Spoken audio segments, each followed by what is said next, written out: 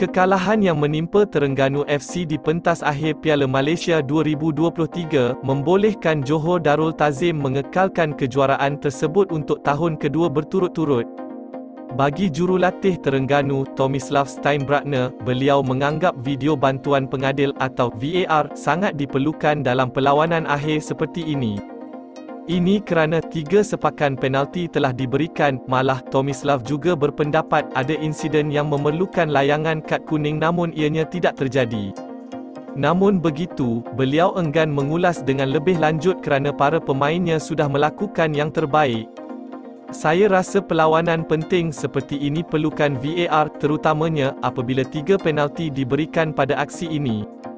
Pengadil sepatutnya memiliki peluang untuk menyemak semula keadaan tersebut sama ada penalti atau tidak.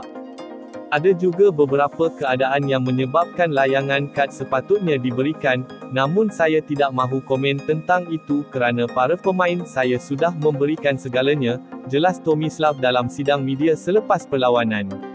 Dengan tertuasnya Terengganu di pentas final Piala Malaysia, kini mereka hanya berbaki satu perlawanan Liga Super, dan juga sudah pasti saingan Piala AFC untuk terus diperjuangkan bagi melayakkan mereka ke peringkat seterusnya.